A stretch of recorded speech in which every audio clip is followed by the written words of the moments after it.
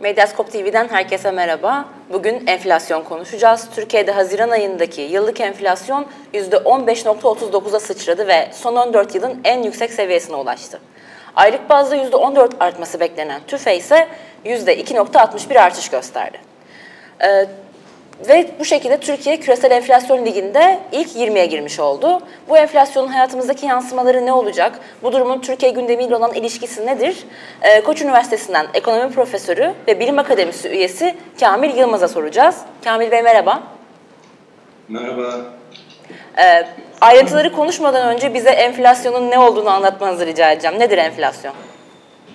Enflasyon en basit tabiriyle ortalama fiyat düzeyinin artış oranı olarak tanımlayabiliriz. Yani hayat pahalılığı olarak da tanımlayabiliriz. Ee, insanların evine götürdükleri sepetin aydan aya, günden güne fiyatlarının fiyatının ne kadar arttığını ölçüyoruz bir ölçüde.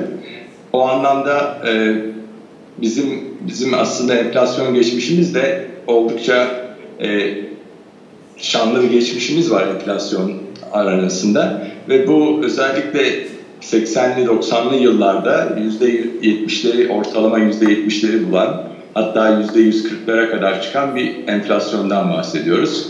E, elbette ki fiyatlar hızlı bir şekilde arttıkça bütün sadece tek bir malın değil genel fiyatlarda artış görüldüğü zaman e, hane halklarının ceplerine giren gelirleri ne yazık ki aynı oranda artsa bile herkesin aynı oranda artmıyor bunun yarattığı ciddi sorunlar var. Enflasyonun yarattığı belirsizlik var. Yüksek enflasyonun e, yarattığı belirsizlik. Çünkü enflasyon oranı arttıkça enflasyon oranının ortalama olarak arttıkça e, bir ölçüde onun oynaklığı da artıyor. Yani %3 enflasyonu biliyorsunuz ki %10'a çıkmaz. %3 enflasyon olan bir ülkede enflasyon bir günde ya da bir ayda, iki ayda %10'a çıkmaz. Ama yüzde 6, 7, 8 enflasyon olan bir ülkede yüzde 10 görülebilir. Şimdi bizde de yüzde 15 bandına çıkmış olmamız aslında giderek yani enflasyonun gidediğimizde e, yükselmesi bu işte bir tanımı itibariyle bakıyoruz ama giderek oynaklığının artması anlamına geliyor. Aşağıda düşebilir, yüzde 12'lere de düşebilir elbette ki önlem alınırsa ama önlem alınmazsa e, siyaset gereği alınmazsa hele, seçimler gereği alınmazsa bu enflasyonu daha da yukarılarda görebiliriz. E, bu bir ölçüde iş adamının, iş dünyasının, e, hane halklarının hepsinin de geleceğe bakışlarında belirsizliğin artması anlamına geliyor. Çünkü ben önümü göremiyorum. Ne demek? İşte 3 ay sonra, 6 ay sonra fiyatlar ne olacak? Benim ücretim yüzde şu andaki, geçmişteki enflasyona göre arttırılıyorsa ben ama gelecekteki fiyat artışlarına ücretim yeterli olmayacak ve ben daha da talebimi kısma yoluna da gidebilirim. Peki bu ani artışa ne sebep oldu? Bu ani artışa ne sebep oldu? Tabii baktığınız zaman tek tek katkıda bulunan e, konulara burada neyi görüyorsunuz? Gıda ciddi, işlenmemiş gıda ve alkol dışı içecekleri görüyoruz. Yaklaşık %6'ya yakın bir aylık artış söz konusu bu kadar. Ve 2.61'lik aylık enflasyondaki %2.61'lik artış, 2.60'lık artışın yaklaşık yarısı gıdadan geliyor. E, biliyorsunuz bizim ülkemizde gıda konusu çok tartışılıyor. Eskiden beri bu konuda da hükümet bazı önlemler almaya çalıştı. İşte gıda işte üreticiden tüketiciye kadar geldiği zaman ciddi maliyetler var, ciddi kayıplar var ve bunun önüne geçeceğiz diye. Ama bu sanırım son 4-5 senedir tartışılmasına rağmen bu konuda e, bir arpa boyu yol gittiğimizi düşünüyorum. Pek e, ciddi önlemler alınamadı. Çünkü tek başına alınacak önlemler değil, kurumsal, yapısal reformlarla beraber düşünmesi gerekiyor. E, o reformlar bir ölçüde rafa kalktığı için bu tür e, sadece palyatif önlemlerle de enflasyon düşürülmesi mümkün değil ya da gıda enflasyonunun bir ölçüde e, daha da kontrol edilebilir bu maliyet tarafından kayıpların bir kenara atılması mümkün olmuyor. Siz seçimden önce yazmıştınız aslında. Enflasyonu en yüksek ülkelere baktığımızda başkanlık geri başkanlık sisteminin olduğunu gördüğümüz bir tablo yayınladınız. Oyunuzda buna göre dikkatli verin demiştiniz ve şimdi e, bahsettiğiniz o ilk 20'ye Türkiye'de girmiş durumda. İşin biraz siyasi kısmını konuşalım. Bu ülkelerin çoğunda başkanlık geri başkanlık sistemi var gibi gözüküyor. Arkadaşlarımızdan da rica ederim tabloyu göstersinler. Bu ülkelerin arasındaki ortak özellik nedir? Neden bu başkanlık, geri başkanlık sistemleri böyle bir şeye sebep olur? Şimdi e, aslında ben bunu yazdığımda bir tweet atmıştım. E, referandum öncesiydi geçen yıl. E, oyunuzu verirken dikkatli olun. Referandumun başkanlık sisteminin getirdiği ciddi belirsizlikler var. Hatta yani e, bir ölçüde birçok eğer kurumsal anlamda başkanlık sistemi iyi çalışmazsa tek adam sistemine doğru gidebilir. E, çok keyfiyet söz konusu. Böyle bir durumda da e, keyfiyet tek adamlı keyfiyette bence enflasyonun arkasındaki nedenlerden birisi. Buradaki ülkelerle Türkiye'nin anılması bile aslında bunu güncelledim bugün. Ve ben aslında bunu ben güncellemedim. Daha sonra tradingeconomics.com'da bu enflasyon güncellenmiş enflasyon verileri var. Ben oraya girdiğimde sadece bu ülkelerin siyasi sistemlerini ben ekledim. Ve Türkiye bu sistem, burada şu anda 12. sırada. Haziran itibariyle 12. sıraya çıkmış durumda. Ve yani bir Arjantin dışında bizim ligimizde olduğunu düşüneceğiniz aslında ülke yok. Yani Arjantin şu anlamda orta gelir grupları, bir ölçüde bir demokrasi geçmişi olan bir ülke. Ama onun dışında Venezuela, Güney Sudan, Sudan, Kuzey Kore, Kongo, Suriye, Orta Afrika Cumhuriyeti, Liberya, Angola, Libya bunlar bir ölçüde broken state'e doğru kadar gidebilecek ülkeler yani kırılmış bir sistemleri, çalışmayan sistemleri var. Yani umarım tabii ki bu bir anlık olduğu için ben bunu bu tabloyu bu şekilde verdiğim zaman işte bu e, yanlı diye düşünülebilir değil. Sadece bunu vurgulamak istememin nedeni e, başkanlık sistemlerinin e, toplam tek keyfiyete doğru gittiği için siyasi anlamda da enflasyonu tetikleyebilecek harcamaları ve kamu harcamaları ve arkasından gelecek para politikalarının eksikliği, e, liyakatın olmadan yapılan atamalar, e, başkanların siyaset, e, ben bütün siyasi riski ben alıyorum ve ekonomik kararları da ben veriyorum demesiyle e, ortaya çıkabilecek sonuçlar bunlar. Nitekim 24 Haziran seçimlerine giderken Sayın Cumhurbaşkanımız da 15 Mayıs'ta Londra'da başladığı konuşmalara devam etmişti. Söylediği de bundan sonra Merkez Bankası vermeyecek faiz kararlarını ben vereceğim ya da işte külliyede ya da sarayda verilecek. Biz vereceğiz demişti. Ama ne, kararın nerede verildiği değil, önemli olan karar bu kararın teknik bir karar olması. Burada ciddi anlamda ekonomik bir teknik bir karar. Burada siyaset tamamen devre dışı kalmalı ve Cumhurbaşkanı'nın danışmanlarının bir ölçüde kendisine anlatması gereken konuda e, enf, enflasyon faiz arasındaki ilişkinin kendisinin bildiğin gibi olmadığı yani faiz arttıkça enflasyon artıyor e, önermesi yanlış bir önerme. Böyle bir kanal var. Evet bir, bu tür bir kanal olabilir ama bu çok zayıf bir kanal. Yani faiz arttıkça şirketlerin üretim maliyetleri artıyor. Şirketlerin üretim maliyetleri arttıkça da bunu e, fiyatlarına yansıtıyorlar. Fiyatlar daha hızlı artıyor. Bu çok zayıf bir kanal. Asıl burada önemli olan nokta faiz artışları. Yani Merkez Bankası'nın kontrol ettiği politika faizleri ve piyasa faizlerindeki artışın önemli bir etkisi talep tarafına etkisi var ve talebin hızlı arttığı dönemlerde aynı fiyatların e, aşırı talebin artışıyla beraber fiyat artışında hızlandığı dönemlerde Merkez Bankası'nın müdahale etmesi kaçınılmaz. Nitekim kurdaki artışın getireceği talep, e, talep değil maliyet enflasyonudur kurdaki artışta. Yılbaşından bu yana gördüğümüz yüzde yirmi aşan bir kur artışı var ve bu kur artışı üretim maliyetlerini arttırıyor. Üretim maliyetleri e, son fiyatlara tüketici fiyatlarına yansıdığı zaman da bu geçişkenlik zaman içinde kendisini gösteriyor. Bizim bir an önce bu işi yani teknik olan bu konuyu teknik personele, teknik uzmanlara devretmemizdir. Nitekim son 2-3 gün işte yine Bilim Akademisi üyesi olan Darun Acemoğlu'nun ismini, ismi geçti ama bunun gerçek olmadığını Darun Acemoğlu kendisi de söyledi ve buradaki mantık bir ölçüde onun ismini kullanıp aslında hükümetin e, Cumhurbaşkanı'nın bu konuda çok ciddi olduğu, ekonomiyi tekrar eski rayına oturtmak istediği gibi mesaj vermek olabilir. Ama bunun için yapılacak çok daha atılacak büyük adımlar var ve Daron Acemoğlu'na bu teklif yapılsa da kendisinin kabul etmesi için öncesinde atılması gereken adımlar var ve ne yazık ki biz oralar çok uzağız. Yani siyasetin gölgesi ekonomik politikalarından uzaklaşmadan enflasyonun bence tekrar eski tek hanelere dönmesi mümkün değil.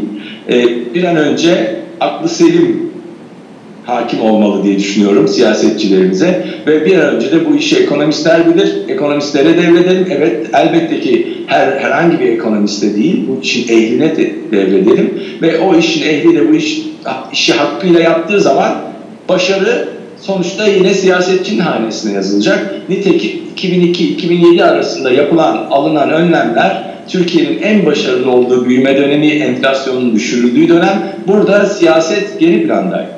Burada IMF'nin e, ve Kemal Derviş'in öncülüğünde bir program vardı ve başarılı oldu. Teknik bir programdı. Elbette ki her teknik programın siyasi yanları vardır, siyasi tartışmaları vardır ama ana kararlarda faiz enflasyon ilişkisi konusunda bu bir yanlış. Bundan dönmemiz gerekiyor.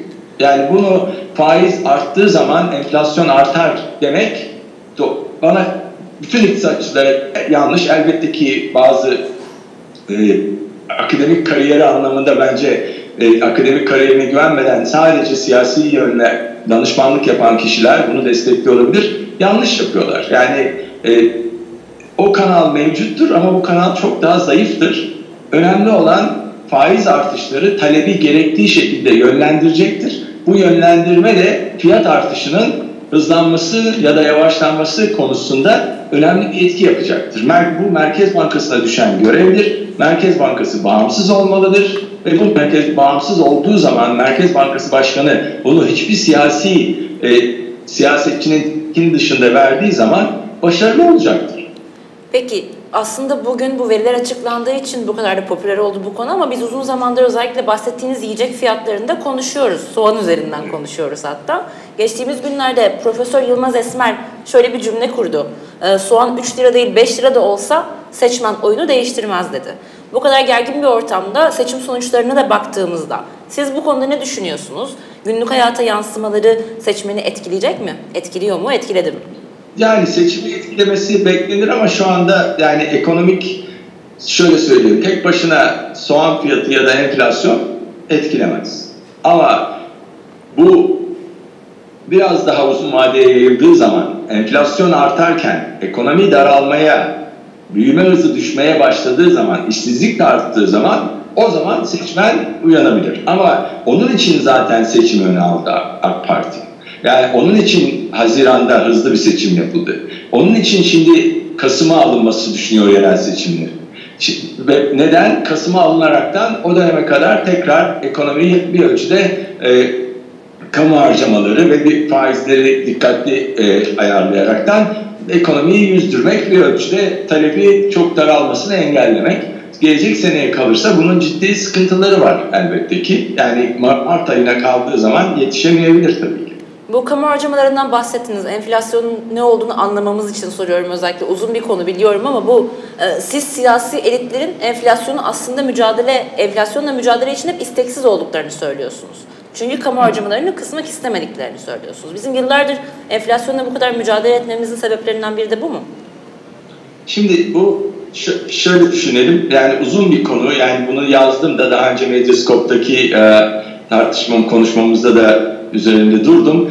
80 90'lı 80'li yıllar için geçerli, çok geçerli bir argüman. Çünkü Türkiye'nin o dönemde e, kamu harcamaları artışı çok hızlı. Ciddi siyasi rekabet var 87 sonrasında ve Türk siyasetçisi e, son kertede kamu harcamaları kendi cebinden yapmış gibi rahat yapabilen bir siyasetçi. Bunun e, ve kamu harcamaları 87 sonrasında hızlı bir şekilde arttı. 94'e geldiğimiz dönemde bütçe açıkları hızlı bir şekilde artmıştı ve o dönemde kamu harcamaları en önemli sorunumuz ve onun finansmanı en önemli sorunumuzdu. 2002'den sonra yapılan reformlarla kamu harcamaları kontrol altına alındı, kamu borcu kontrol altına alındı ve o tarafta bir ciddi özelleştirme yapıldı ve böylece kamu harcamalarının şu anda büyük çapta bir sorun yarattığını söyleyemeyiz. Ama seçim öncesi bakalım hükümetin, hazinenin bankalarda, Merkez Bankası'nda olan hesaplarında 49 milyar lira varken seçim döneminde bir ayda bu 49-10 milyara düşüyor. Yani 40 milyar lira harcanıyor. Neden? Seçime giderken işte ek elbette ki maaş verilmesi emeklilere ve başka harcamalar. Şimdi birçok her ülkede seçim döneminde harcamalar artar. O açıdan ekonomik bence e, hükümeti eleştirmemiz çok kolay değil. Ama buradaki asıl hata şudur. Buradaki asıl hata kamu borcu düşmüşken özel sektör borcu yüksek şu an.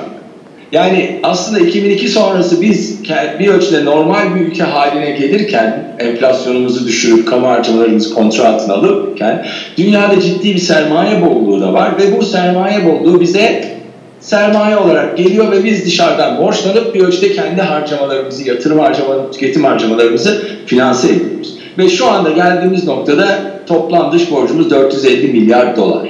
Ve böyle bir ülkede sizin e, para politikası ya da maliye politikası konusunda konuşurken çok dikkatli düşünmeniz gerekir. Ben siyasetçiyim, ben istediğim gibi konuşabilirim ve halk bana bu yetkiyi verdi dediğiniz zaman bunun sonucunda batacak şirketleri de düşünmediğiniz, eğer bu konuşmayı yaparsanız bunun sonucu batabilecek şirketler, işsiz kalabilecek binler olabilir. Ha, birkaç ay kurtarabilirsiniz ama bundan kaçış yok. Yani zaten dünyadaki ser, e, para bolluğunu, sermaye bolluğunu giderek azaldığı bir döneme gireceğiz. Amerika faizleri arttırması bekleniyor Amerikan Merkez Bankası'nın ki kendileri söyledi bu yıl 4 arttıracağız diye. Bu gelecek yıllarda devam ederse bizim gibi ülkelere sermaye gelişi eskisi kadar fazla olmayacak.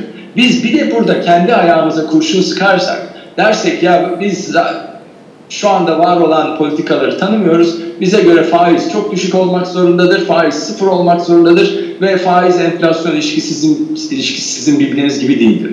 Böyle olduğu zaman yabancı yatırımcı bir anda tasını tarağını toplayıp ülkeye eyvallah deyip çıkabilir. Nitekim Türkiye'nin son bir buçuk aydır yaşadığı bu. Ve Böyle bir yani, sorun bu. Yani kamu ama bunun arkasından kamu açıkları artacaktır. Önümüzdeki dönemlerde artacaktır. Ee, bunun günlük hayatımıza yansıması nasıl olacak? Zira aynı yönetime devam ediyor Türkiye.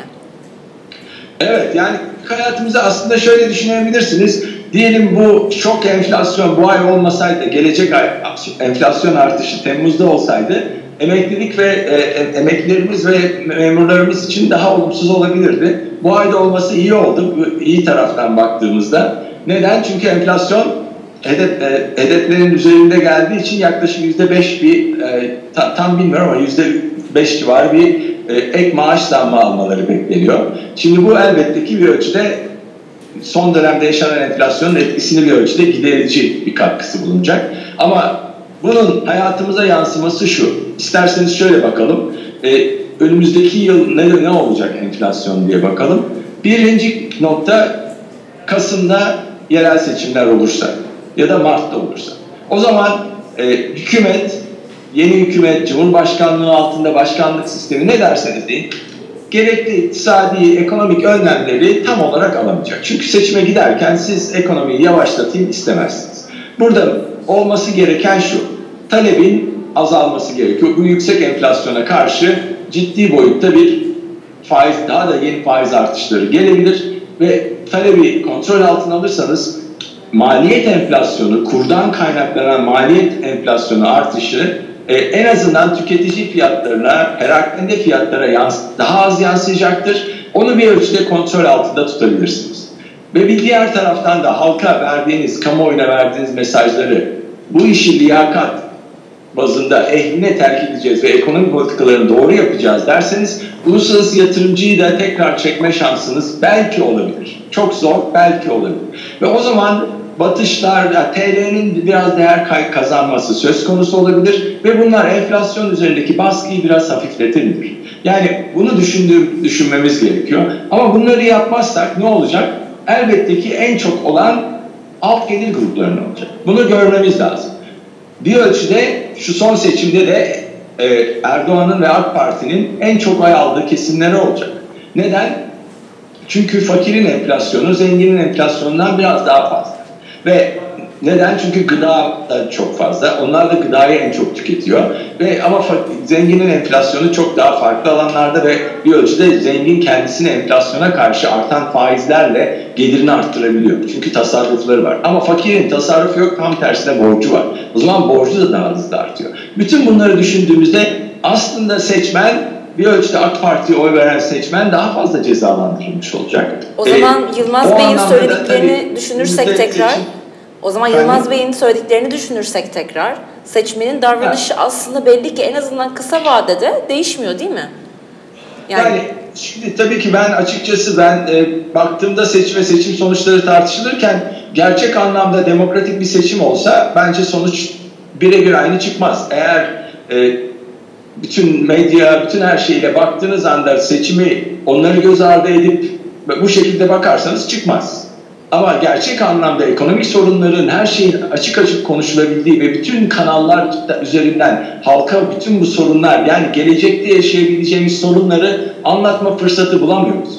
Böyle bir durumda ekonomistlerin görevi nedir? Bugün politika önermelerini yapın ama bu politikalar uygulanmazsa da şu yoldan giderseniz bunun sonuçları da bu olacaktır deyip halka da bunu söylemek. Yani halkın da buna en basit dille anlayabilmesini sağlamak. Ama ben ne yazık ki bu mecralar kapalı. Böyle olduğu dönemde de seçmenin tam bilgi altında bu kararı verdiğini ben düşünmüyorum. Yani, Tamamen yani, yani ekonomik gidişatın farkında değiliz. Biraz da o yüzden böyle oluyor mu diyorsunuz?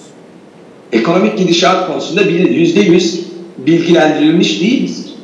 Ve o anlamda gelecekle ilgili beklentilerimizi bir ölçüde yeterli bir veri setiyle oluşturamıyoruz. Öyle olduğu için de ben bir ölçüde e, oyumu verirken daha fazla iyi konuşan, iyi e, ne bileyim her kanalda gördüğüm kişiye daha fazla oy verebiliyorum. Dışarıya res çeken, işte batıya res çekilen kişiye verebiliyorum. Ama 6 ay sonra işsiz kalacaksın dese birisi ya da bir yıl sonra işsiz kalacaksın işte devletin verdiği 3 e, kuruşluk maaşa ya da yeşil karta mahkum olacaksın dese o zaman belki iki defa düşünürüm. Çünkü iş işim olmadıktan sonra tamamen bağımlıyım başkasına. Peki seçimin erken alınmasının sebeplerinden biri de ekonomik gidişat demiştiniz. Yerel seçimlerin evet. erken alınması faydalı mı olacaktır ekonomik gidişat için yoksa daha mı zararlı? Yani şu anlamda faydalı olacaktır. Çünkü yerel seçimler Kasım ayında bittikten sonra en azından makroekonomik önlemler alınacaktır. E, e, artık 5 yıl seçim yok deniyor. Gerçi Bekir Ağırdır'ın sizin kanalınızda yaptığı e, söyleşiden sonra 2020'de yeni bir seçim bekliyorum diyor. Yani 5 yıl olmayacağı bir dönemde ne olabilir? Siyaset geri plana düşer ve ekonomi politikaları uygulanabilir. Ama yani Türkiye tamamen farklı bir rejime giriyor. Türkiye'nin geçmişte bakaraktan geleceğini öngör, öngörmek, siyasetini öngörmek çok zor. Ekonomisini öngörebiliriz gene bir ölçüde ama siyasetini ben tabii çok öngöremiyorum. Peki enflasyona hızlı bir müdahalenin de ciddi bir krize sebep olabileceği konuşuluyor. Bu konuda ne diyorsunuz? Yani burada ciddi bir, buradaki önemli olan nokta piyasalara, piyasaların bir ölçüde uluslararası yatırımcı şu anda TL'yi tekrar eski konumuna geri getirebilmek. Getirmek çok zor ama TL'deki kayıpların bir kısmını almasını geri almaya sağlıyor. Bunu sağlayabilirsek en azından üretici fiyatlarındaki artışın tekrar tüketici fiyatlarına geçiş kendini engelleyebiliyoruz. Geçmişte olan buydu. Geçmişte kısa dönemlerle TL'ye ataklar olabiliyordu. Siyaset işte bu ister deyin 15 Temmuz ister deyin 17-25 Aralık bütün bu dönemlerde Türk lirası değer kaybediyor. 3-5 ay sonra ekonomik haber, siyaset ekonomide daha iyi haberler geldikçe TL tekrar değer kazanıyor. Şu anda TL değer kazanmıyor. Şu anda TL daha da değer kaybetme riskini taşıyor. Böyle olduğu durumda da o zaman dışarıdan sermaye gelmesi ve ülke ekonomiyi tekrar yolunda sokmak çok daha zor olacak ve enflasyondaki artış yani bu yüzde 15 bandını geçmiş bulunuyoruz. Bu bir gösterge. 12'ye düşebilir. Sorun değil ama 20'ye de çıkabilir. Bunu anlamamız lazım.